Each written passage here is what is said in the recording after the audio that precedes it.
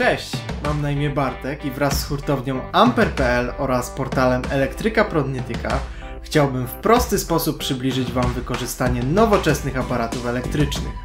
Przykładem takich produktów są aparaty firmy F&F, które już od wielu lat znajdują zastosowanie w szeroko pojętym sterowaniu elektrycznym. Jak już powiedziałem, sterowanie elektryczne to bardzo obszerny kierunek, dlatego krok po kroku będziemy poznawać kolejne urządzenia, które z powodzeniem wykorzystamy w naszych obwodach. Dzisiaj na warsztat bierzemy przekaźnik bistabilny F&F BIS 411. Wykorzystanie tego przekaźnika umożliwia nam załączenie i wyłączenie oświetlenia albo innego urządzenia z kilku różnych punktów. Przekaźnik zamontowany jest w jednomodułowej obudowie o szerokości 18 mm, a jego mocowanie przystosowane jest do montażu na szynie TH35. Przekaźnik posiada sygnalizację w postaci kontrolek. Zielona dioda sygnalizuje zasilanie przekaźnika, natomiast czerwona dioda informuje o jego zadziałaniu.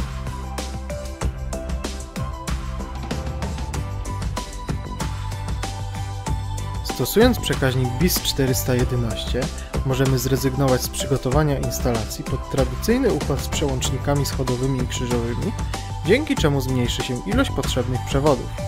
W przypadku zastosowania przekaźnika wykorzystujemy przyciski monostabilne. Przed podłączeniem musimy zdecydować z jakiego rodzaju wyzwalania skorzystamy.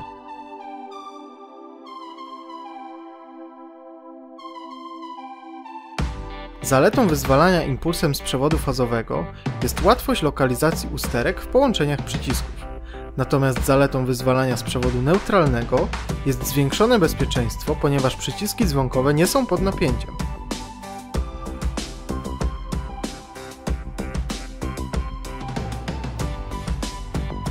Do zacisków 1 i 3 podłączamy zasilanie zgodnie z wybraną opcją wyzwalania. Pierwszym przypadku, korzystając z wyzwalania impulsem z przewodu fazowego, styk pierwszy podłączamy do przewodu neutralnego, a styk trzeci do przewodu fazowego. Przyciski dzwonkowe łączymy równolegle. Jedną stronę przyłączamy do przewodu fazowego, czyli bezpośrednio pod zasilanie lub pod zacisk numer 3. Drugą stronę połączonych przycisków podłączamy do styku numer 6.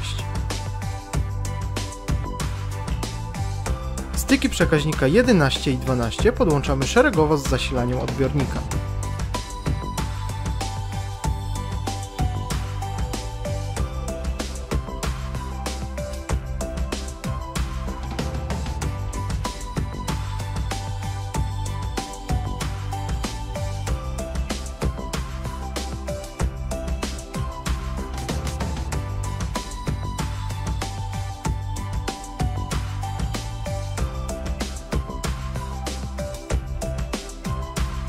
W drugim przypadku, korzystając z wyzwalania przewodem neutralnym, zasilanie przekaźnika łączymy odwrotnie.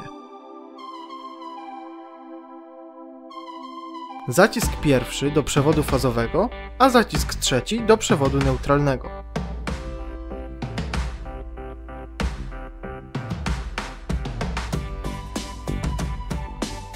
Podłączenie przycisków do zacisku szóstego nie ulega zmianie.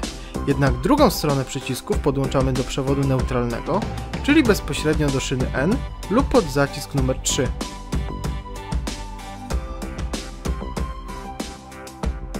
Podłączenie styków 11 i 12 nie ulega zmianie.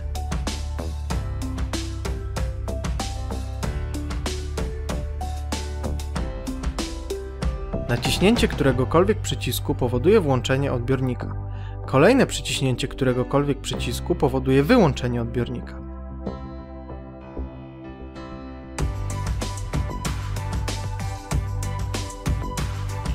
W tym przypadku zamontowany przekaźnik zasilamy napięciem sieciowym.